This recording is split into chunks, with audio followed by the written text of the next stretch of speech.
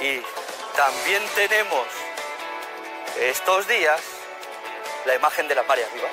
Miren, Castro Urdiales, que ha sido noticia también por otro hecho más luctuoso, en este caso las mareas vivas de Castro que nos envió un espectador. ¿Cómo se llena el, puerto con la marea, la pleamar, y luego cuando se retira baja de golpe, ¿no? Se juntan las mareas vivas de la luna nueva con las mareas equinociales de esta época del año. El resultado es que en la pleamar sube mucho más el mar y en la bajamar se retira mucho más.